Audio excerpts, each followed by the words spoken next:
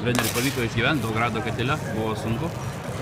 Tikrai buvo labai sunku ir labai džiaugiuosi, kad po to tokio, galima sakyti, netikėto pralaimėjimo vyrai susikaupė e, pagaliau savo, pagal savo lygį ir pagal e, kaip turėtų žaisti sužaidė ir mūsų kapitonas Gecevičius, kuris tikrai padėjo mums šitą, taip kad, bet visumoje tai visi šaunoliai vyrai tikrai stengiasi gynyboje, aš manau, iš toj salėje yra labai sunku laimėti, taip kad labai džiaugiuosi, sveikinu visus žaidėjus ir visus mūsų sirgalius su pergalė. Galima sakyti, kontroliavote žaidimą visas rungtynės išskyrus galbūt atkarpą antram kėlinį.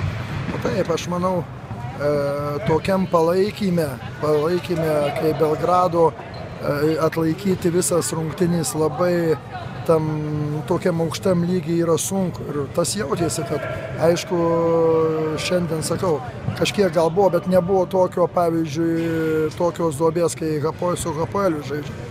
Visumoje gerai visi, ne tik taškuose, ir, e, bet ir kitur. Ir Ašiškevičius atrodo nepelnė daug taškų, bet tikrai nu, nebuvo daug labai kvailų, išskyrus gal pradžią truputį kvailų tokių sprendimų. Šaunoliai vyrai, ką čia pasakyti.